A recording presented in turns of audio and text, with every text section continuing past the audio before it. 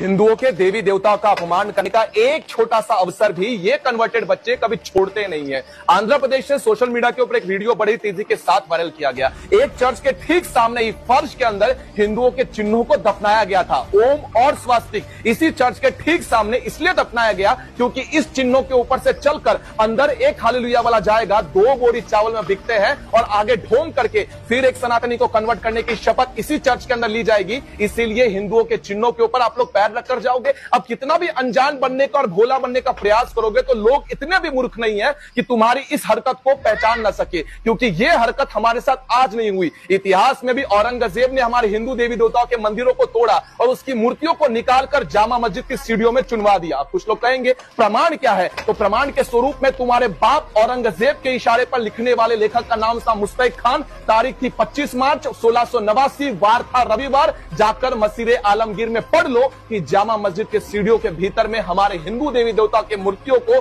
आखिरकार क्यों चुनवाया गया